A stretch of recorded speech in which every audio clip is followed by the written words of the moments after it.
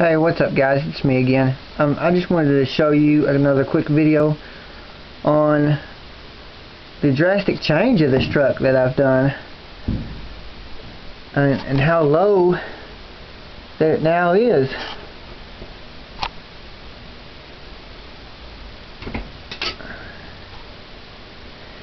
I'm thinking about taking the long bed off because I don't know to me it looks like it's just a little bit too long now maybe I'll put a short bed on it or a step side. I don't know. Tell me what you think